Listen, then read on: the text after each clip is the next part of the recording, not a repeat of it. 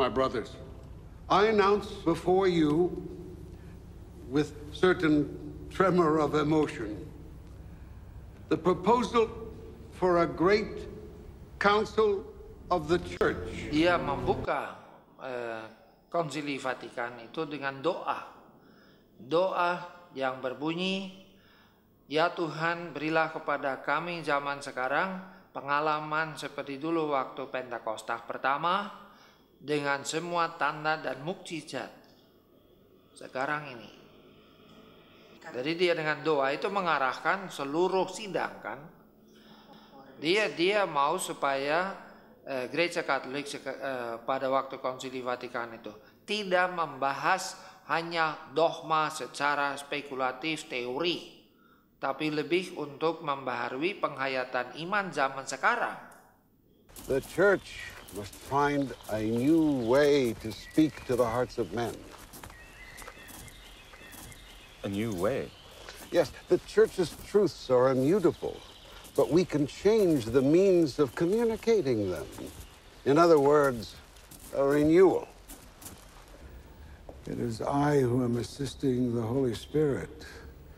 He's the one who does everything. The council was his idea.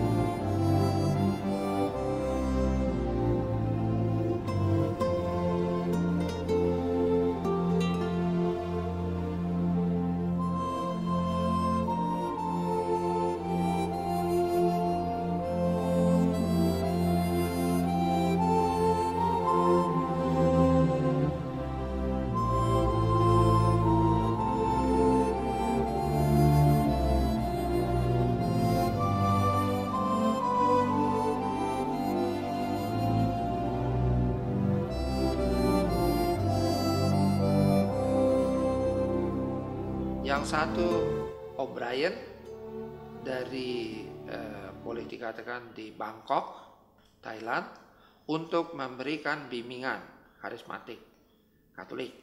Dan Pastor Heribert Schneider, Profesor Kitab Suci dari Manila, und juga SYE datang sini. Berdua Leus Sukoto mengambil oper undangan itu.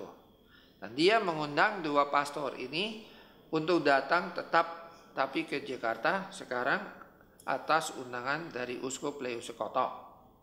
Dan itu terjadi pada tahun 76. Dengan demikian Maksud Leo Sekoto kumpulkan umat sebanyak mungkin ya pastor, suster, eh, tokoh-tokoh umat untuk menerima bimbingan karismatik dari kedua tokoh pastor ini. Saya dari Mangga Besar ke katedral untuk mengikuti. Ya di situ saya mendapat sentuhan. Saya merasa, wah ini menarik. Ini sungguh-sungguh kekuatan roh Allah. Dan saya tidak mengalami hal ini dalam hidup saya. Dan saya tidak mengalami dalam umat. Dan saya lihat hasil buah roh-roh itu, buah roh kudus di dalam perubahan yang terjadi dalam anggota umat kan. Saya lihat bagaimana mereka improve ya. Dulu tidak berdoa, sekarang senang berdoa. Dulu tidak mau baca kitab suci, sekarang senang baca kitab suci. Dulu itu kan tidak bisa mengatasi kesulitan dalam keluarga, itu mau cerai. Tapi setelah berdoa demikian tidak jadi cerai, bertobat. Saya lihat itu eh, orang tua dulu tidak suka memberikan anaknya jadi pastor atau suster. Sekarang malah minta dari Tuhan supaya anaknya dipanggil. Jadi perubahan banyak, bukan hanya kesembuhan, itu juga banyak, tapi perubahan moral, rohani, itu yang saya lihat sebagai buah. Dan itu membuktikan pada saya, ini kekuatan rohani yang tidak saya alami dulu. Dan itu meyakinkan saya. Berjuta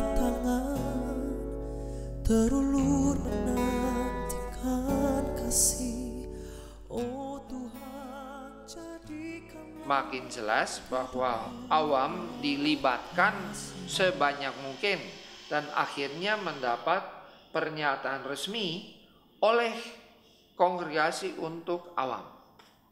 Dan itu berarti menjadi suatu tanda resmi. Ya, boleh karena dia digolongkan pada kongregasi untuk awam oleh di bawah kepausan. di bawah kepausan ya. Lalu pimpinan organisasi kantor pimpinannya yang melayani ICRES International Catholic Charismatic Renewal Services ICRES ya itu juga diakui resmi dengan hukum kepausan sebagai lembaga yang diberi diakui bertanggung jawab untuk pembinaan seluruh karismatik Katolik di dunia. Itu juga awam di bawah awam itu dengan hukum kepausan Eh, melihat dalam rumusan bahwa seluruh umat boleh mempergunakan karisma dan buah-buah roh yang diberikan Allah dan berhak untuk mempergunakannya. Maka kalau you lihat hukum buku hukum gereja yang baru, maka juga dirumuskan bahwa awam yang dipanggil Tuhan boleh mempergunakan eh, ya karunia karunianya, boleh memakai gerakan itu untuk kerasulan, dan semua di, diizinkan.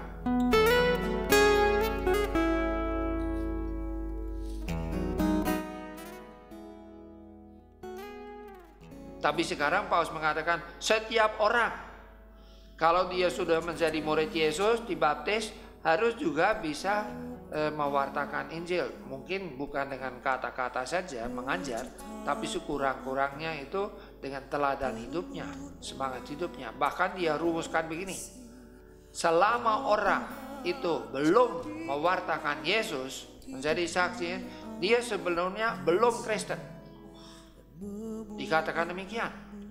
Dan itu dengan demikian dia katakan juga dalam bab eh, salah satu bab bahwa semua anggota umat awam juga punya tugas pertama yang paling utama seluruh gereja mewartakan Injil Yesus. Itu tugas pertama dan utama.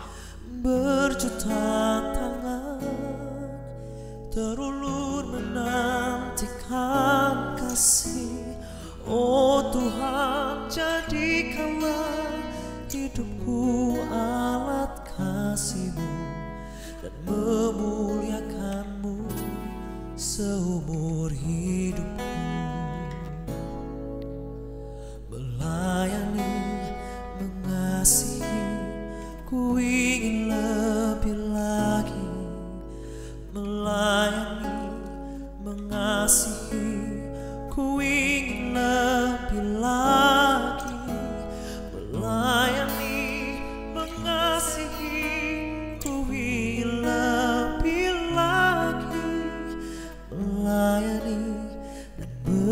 nasce.